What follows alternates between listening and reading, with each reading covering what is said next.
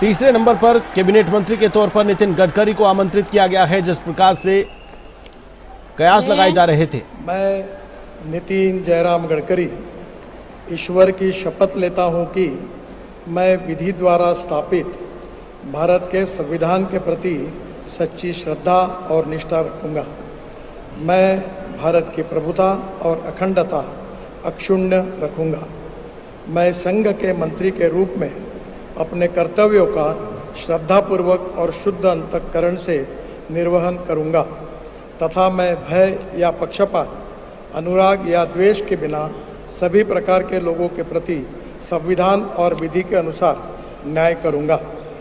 मैं मैं ईश्वर की शपथ लेता हूँ कि जो विषय संघ के मंत्री के रूप में मेरे विचार के लिए लाया जाएगा अथवा मुझे ज्ञात होगा उसे किसी व्यक्ति या व्यक्तियों को तब के सिवा, जबकि ऐसे मंत्री के रूप में अपने कर्तव्य के सम्यक निर्वहन के लिए ऐसा करना अपेक्षित हो, मैं प्रत्यक्ष अथवा अप्रत्यक्ष रूप से संसूचित या प्रकट नहीं करूँगा।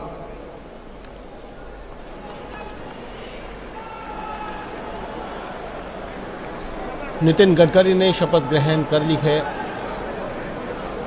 कैबिनेट मंत्रियों की सूची में तीसरे नंबर पर उन्हें आमंत्रित किया गया। शपथ ग्रहण करने के बाद हस्ताक्षर करते हुए नितिन गडकरी।